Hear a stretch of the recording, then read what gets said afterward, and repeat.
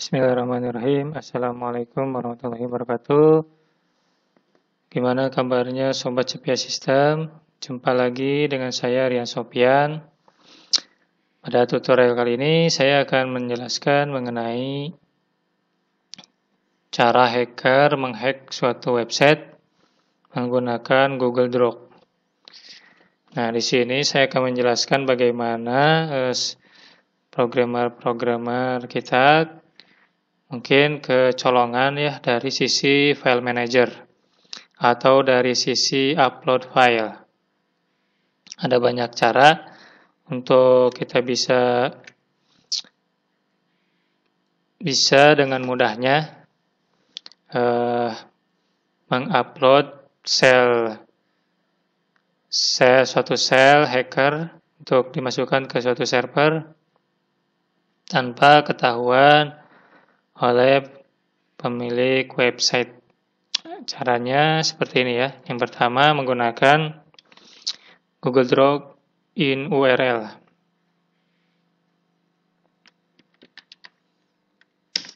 Nah, di sini in URL. Nah, yang pertama adalah menggunakan ini. In URL CK Pinder dialog. Nah, bagi yang menggunakan CK Finder, ini harap hati-hati mengamankan filenya, karena dengan mudahnya eh, kita bisa masuk ke sini ya. Saya kasih contoh.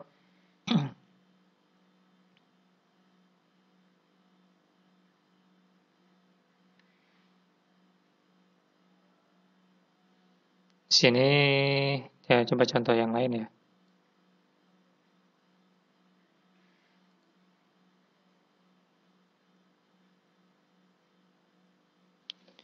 website yang terdapat CK pindernya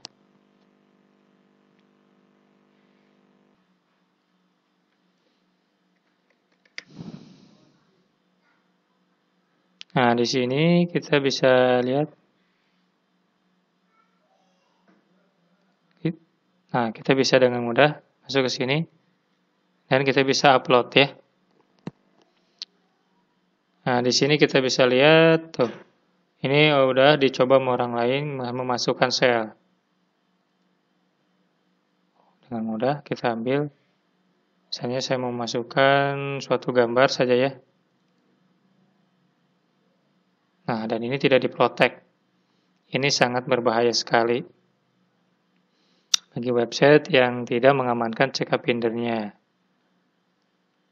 Masuk langsung ke sini ya. Selanjutnya adalah uh, in URL. Selain CK pinder ada lagi yaitu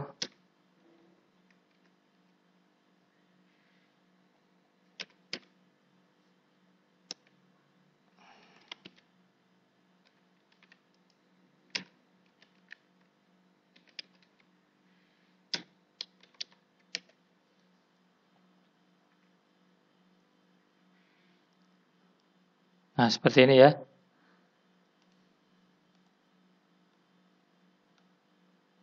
Kita coba di sini.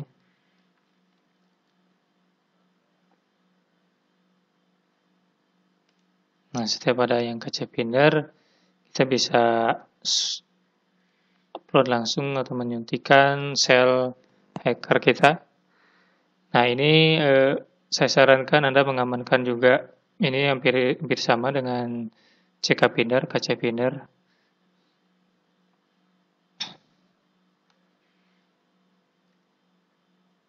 Oh, apalagi ini sudah banyak sekali sel-sel yang ditanamkan hacker-hacker itu ya melalui upload. Harap Anda mengamankannya sebelum di device e-file index Anda.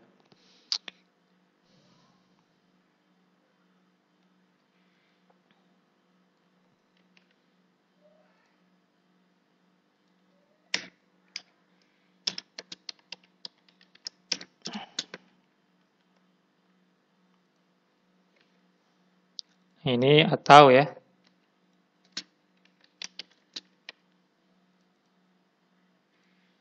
Jika binder.html tadi.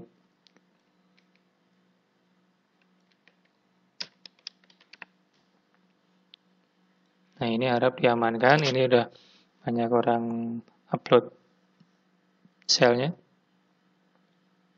Selanjutnya adalah uh,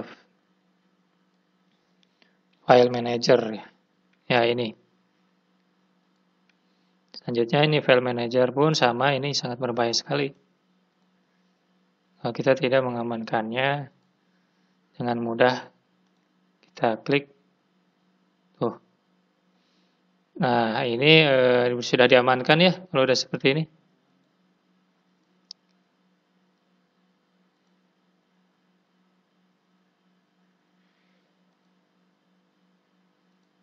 Coba kita coba dulu apakah sudah diamankan.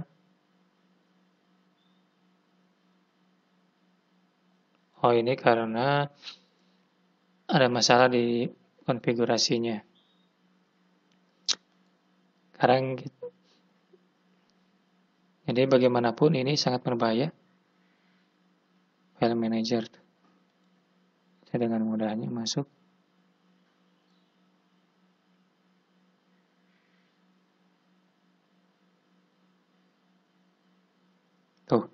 Ini sudah ditanam ya sama hacker. Kita upload. Sama ini juga sangat mudah masuk ya. Mudah sekali tanpa pengamanan yang berarti.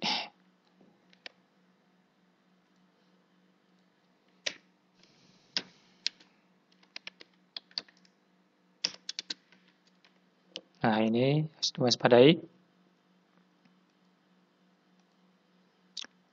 Selanjutnya adalah in URL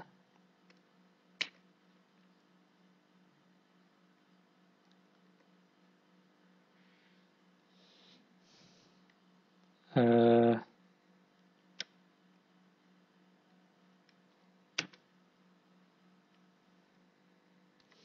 Jadi kesimpulannya banyak sekali eh, editor-editor lain selain yang saya jelaskan tiga ini.